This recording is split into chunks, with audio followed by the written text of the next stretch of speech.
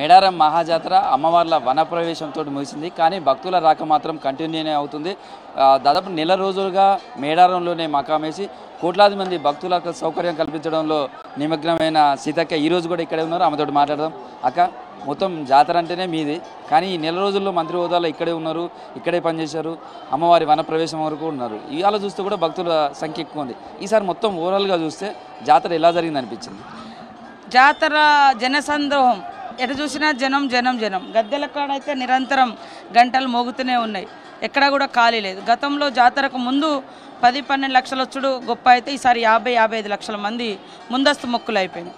దాదాపుగా ఈ రోజు వరకు కోటిన్నర మంది అంటే పాతది కాకనే అని మాకున్నటువంటి అంచనాలు. నిత్యం డ్రోన్ కెమెరాల ద్వారా కూడా పాపులేషన్ ఎక్కడెక్కడ ఉంది గుడారాలు అన్నీ కూడా పోలీస్ అధికారులు కూడా ఎప్పటికప్పుడు తీసిర్రు. కానీ ఇది పెరిగినటువంటి తల్లుల మీద పెరిగినటువంటి నమ్మకానికి భక్తికి విశ్వాసానికి ప్రతీకనే ఈ జనసందోహం. అదేవిధంగా ప్రజలకు కూడా కొంత స్టేట్ గవర్నమెంట్ మహిళలకు ఉచిత బస్ ప్రయాణం పెడితే కూడా వాళ్ళ గుండెల్లో ఉన్న కోరికలను మొక్కులను మొక్కుకోవడం కోసం కూడా రావడానికి అందరూ సంసిద్ధమై రావడం జరిగింది. చాలా సంతోషము. పెద్దగా ఎక్కడ ప్రాణ నష్టము లేదా ఇబ్బందులు అయితే ఏం లేవు. కొద్దిగా ఎండ అనేది రెండు రోజులు ఎండ బాగుండే శుక్రవారము బాగా ఉండే. ఆ రోజు కొంచెం విఐపీల తాకిడి ఉన్నప్పుడు ఆ లైన్లలో ఉన్న వాళ్ళకే కొద్దిగా ఇబ్బంది అనిపించింది. కానీ అంతిమంగా ఎక్కడ కూడా ఇబ్బంది లేదు. అయినా కూడా మేము నేను ఇప్పుడు నడుచుకుంటూ కూడా క్యూ లైన్లలో వాటర్ ప్రాబ్లం ఏముందని కూడా చూసిన.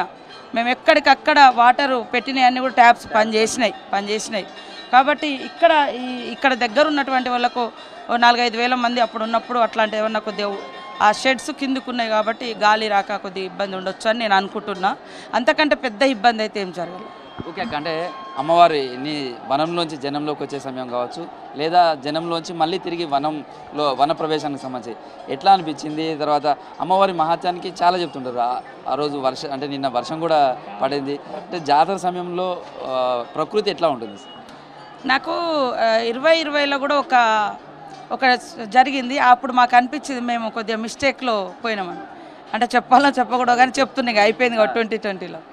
నేను క్రిస్టియానా ఇద్దరం ఉన్నాము. ఎప్పుడు కూడా చిలకల గుట్టకు లేడీస్ని ఎప్పుడు తీసుకెళ్ళరు కానీ మా వాళ్ళు ఉత్సాహంతో ఆమె కూడా సేమ్ అని మా వాళ్ళు యాక్సెప్ట్ చేసి క్రిస్టియానాను నన్ను గుట్ట మీద తీసుకెళ్ళారు తర్వాత సండే సాటర్డేనో దేవుడు వెళ్ళిపోయాక ఫుల్ వాన పడ్డది. అది కొద్దిగా మాకెందుకో బాధ అనిపించింది. అప్పుడు అంటే మే నేను అనుకున్నా ఇది ఏదో మిస్టేక్. ఇంకొకటి రెండు కూడా కొద్దిగా వేరే మనోళ్ళు అయింది. అప్పుడు అనిపించింది. అప్పుడే నాకు అప్పటి నుంచే అది ఇంకా బలమైనటువంటి నమ్మకం ట్వంటీ ట్వంటీలో. ఈరోజు రాత్రి సమ్మక్కని తీసుకెళ్ళేటప్పుడు దేవుళ్ళని తీసుకెళ్ళేటప్పుడు అసలు పొద్దున్ననక వాన లేదు ఏం లేదు. అసలు ఏం లేదు ఎండలు. సమ్మక్కని సార్లమ్మ పగడిద్దర వెళ్ళేటప్పుడు చిరుజల్లులు కురిసి అటు వాళ్ళు బయటికి వెళ్ళిపోగానే ఆగిపోయింది. అసలు ఏంటిది అర్థం కానట్టు అంటే అంత చాలా అద్భుతం అనిపించింది.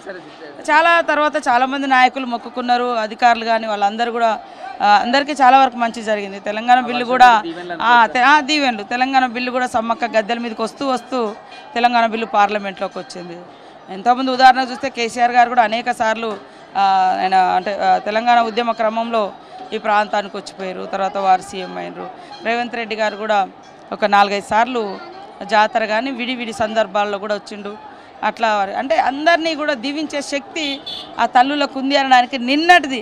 అసలు అదే టైంలో పడడం వాళ్ళు బయటికి వెళ్ళిపోగానే మళ్ళీ వాళ్ళు దాటిరు గేట్లు దాటి వెళ్ళిపోయినాక ఆగిపోయింది. అసలు ఏంటిది ప్రకృతి అంటే దేవుళ్ళు ఆ ప్రకృతిలో లీనమైనటువంటి వాళ్ళ జీవితాలు. ఈరోజు రెండు సంవత్సరాలు ఆ శక్తినంతా వాళ్ళలో కూడగట్టుకొని నాలుగు రోజులు ఇక్కడ ఉన్నటువంటి భక్తులకు అందరికి ఇచ్చి మళ్ళీ ఉట్టి చేతులతో పోతారు తప్ప వాళ్ళు ఏం తీసుకోపోయేది కాదు. శక్తినంత ఇక్కడ ప్రజలకు వాళ్ళ మా భక్తులకు ఇచ్చేసి తిరుగు ప్రయాణంలో సంతోషంతో గురిపించారని చాలామంది పూజారులు కానీ పెద్దలు కానీ చాలామంది చెప్తా ఉన్నారు.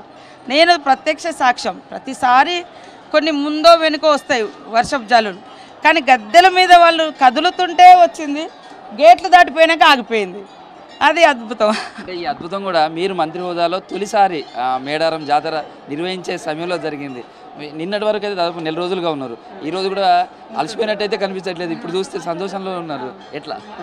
ఎంత అలసట ఉన్నా సమ్మక్క సార్లమ్మ సన్నిధిలో మాకు ఒక గొప్ప అవకాశం. లక్షలాది మంది భక్తులకు కోట్లాది మంది భక్తులకు సేవ చేసే ఆరోగ్యము శక్తిని మా సమ్మక్క సార్లమ్మ మాకు ఇచ్చిర్రు ఆ శక్తిని శక్తివంతం లేకుండా పనిచేసినాం. భవిష్యత్తులో కూడా అట్లనే పనిచేస్తాం.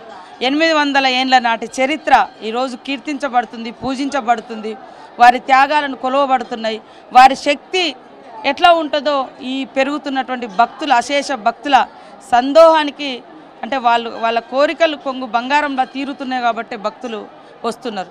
ఈ ఎనిమిది వందల ఏళ్ళ నాటి చరిత్రను మనం జాతర రూపంలో కొలుస్తున్నాము. ఈ ఎనిమిది ఈ చరిత్రను వెయ్యేళ్ళు చూపించాలంటే పర్మనెంట్గా ఇక్కడ వాళ్ళ చరిత్ర లిఖించబడాలనేది నా డ్రీమ్ నా పట్టుదల. ఓకే అక్క మళ్ళీ ఇప్పుడు పోస్ట్ జాతరకు సంబంధించి అంటే ఇప్పుడు సండే రోజు కూడా చూస్తే ఇంత క్రౌడ్ ఉంది. మేడం జాతర జాతర జరిగే సమయంలో కూడా చాలా ఎక్కువ ఉంది. ఈసారి ఆర్టీసీ పరంగా ఎక్కువ బస్సులు పెట్టి ఎట్లా ఉంది ఆ జర్నీ కానీ తర్వాత వాళ్ళ ఫీడ్బ్యాక్ కానీ తర్వాత భక్తుల రద్దీ పెరగడానికి కూడా అదేమైనా కారణంగా చెప్పచ్చా? మేము ముందు నుంచి కూడా భక్తులకు విజ్ఞప్తి చేసినాం రండి రండి అని ప్రచారం కూడా చేసినాం. మీరు కూడా అంటే ఈసారి రెండు నెలల నుంచి భక్తుల రాక భక్తుల రాక అని మీడియా కూడా బాగా లోకల్గా బాగా చూపించింది. కానీ నేషనల్లో ఇట్లాంటి జాతరలు ఎక్కడ లేవు ఇంత పెద్దది లేవు. మనం కుంభమేళ కుంభమేళ అంటున్నారు కానీ కుంభమేళ దాదాపుగా వందల కిలోమీటర్ల గంగా నదిలో జరుగుతుంది. పుష్కరాలు వందల కిలోమీటర్ల గోదావరిలో ఇట్లా నడుస్తుంటాయి. కానీ ఒక పది పన్నెండు కిలోమీటర్ల వైశాల్యంలో ఈ చుట్టూ ఇన్ని కోట్ల మంది నాలుగు రోజులలో రావడం అనేది ఎక్కడ లేదు. కాకపోతే జరగాల్సినంత ప్రచారం జరగలేదు నేషనల్ వైడ్గా. అది బాధాకరం. కానీ జాతీయ స్థాయిలో ఆదివాసీలు పెద్ద ఎత్తున వచ్చే జాతర జరగాల్సిన అవసరం ఉంది. కాబట్టి చాలా అంటే పర్మనెంట్ స్ట్రక్చర్ చేయాలి. ఈ జాతరకు పది రాష్ట్రాల నుంచి వస్తారు. మీరు చెప్పినట్టుగా చిన్న చిన్న చేసిన ఢిల్లీ అనేది మన దేశానికి కే- రాజధాని కూడా అక్కడ కూడా చాలా కార్యక్రమాలు చేస్తుంటారు. కానీ సరే మేడారంకి సంబంధించి కూడా. అట్లాంటి ప్రచారం జరగలేదని చాలామంది చెప్తున్నారు. సేమ్ టైంలో ఈసారి చూసిన అనుభవంతో వచ్చే జాతరకు ఇంకా ఎట్లా దాన్ని ప్లాన్ చేసుకునే అవకాశం ఉంటుంది? వాస్తవానికి ట్రైబల్ సెంట్రల్ మినిస్టర్ వచ్చిర్రు. రాష్ట్రపతి గారి దృష్టిలో కూడా ఉంది. మళ్ళీ వాళ్ళతో కూడా చర్చిస్తాం. సరే ఇప్పుడు పార్లమెంట్ ఎన్నికలు అయిన తర్వాత మా ప్రణాళికబద్ధంగా మేము ఖచ్చితంగా జాతీయ స్థాయి గుర్తింపు జాతీయ స్థాయి పండగ గుర్తించడం జాతీయ స్థాయిలో ఈ ప్రాశిస్తాయని చెప్పడం అదేవిధంగా తిరుగువారం అయిన తర్వాత కొంతమంది మేధావులతో ఒక సమావేశం పెడతాం. ఈ చరిత్రను ఎట్లా మనం వెయ్యేళ్ళకు నిలబడేటట్టుగా అందించాలి. ఎనిమిది వందల ఏళ్ళ నాటి చరిత్ర ఈరోజు ఇట్లా కోట్ల మంది వచ్చి కీర్తించబడుతున్నారు. అంటే ఇది భవిష్యత్ తరాలకు చరిత్రను చరిత్రలాగా అందించాలి. కాబట్టి ఒక డెవలప్మెంట్ అథారిటీ కమిటీ ఇస్తాం నేను అందుకని ఇందాక క్యూ లైన్లో కూడా నడుచుకుంటూ వచ్చాను. అసలు క్యూ లైన్లలో ఏమో ఎట్లా నేను చూసుకుంటూ వచ్చాను. ఇది అయిపోయిన తర్వాత కొద్దిగా టైం తీసుకొని మొత్తం వ్యూ తెప్పించుకుంటాం. ఆ, బైకుల మీద కూడా మేము తిరుగుతాం కొంతమంది అధికారులను ఇంటబెట్టుకొని ప్రణాళికబద్ధంగా భూమి కూడా కొంటాం. ఆ, ప్రజలందరికీ విజ్ఞప్తి చేస్తున్నాం. సమ్మక్క సార్లమ్మ సన్నిధిలో బతికే వాళ్ళందరూ కూడా ఎంతో కొంత నష్టపరిహారం ఇచ్చి భూమి కొనేస్తాం ఈసారి అక్క ఇప్పుడు ఇక్కడికి వచ్చిన లక్షలాది మంది భక్తులకు అయితే మేడారం ఆతిథ్యం ఇచ్చింది. ఇప్పుడు అసలైనటువంటి సమస్య ఉంటుంది. శానిటేషన్కి సంబంధించి కావాలి. తిరిగి మళ్ళీ యథాస్థితికి మేడారం తీసుకురావడం అనేది చాలా పెద్ద టాస్క్. దానికి సంబంధించి ఎట్లా చేయబోతున్నారు? ఫస్ట్ ఆల్రెడీ పొద్దున్నే మా అధికారులతో మాట్లాడినాము. ఫస్ట్ విలేజ్లలో నీట్గా చేయండి అని చెప్పి చేన్లలో చిలకలలో చేద్దాం. మెయిన్గా మేడారం.